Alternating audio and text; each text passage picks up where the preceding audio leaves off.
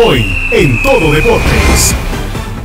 Municipal deja dudas en el frío empate sin goles contra Cobán Imperial. Deportivo Marquense vence a domicilio al campeón Antigua GFC. La Universidad vence a Guastatoya y toma un respiro. En el fútbol internacional el Barcelona sella su pase a la final de la Copa del Rey. Y el Bayern Múnich clasifica a las semifinales de la Copa de Alemania.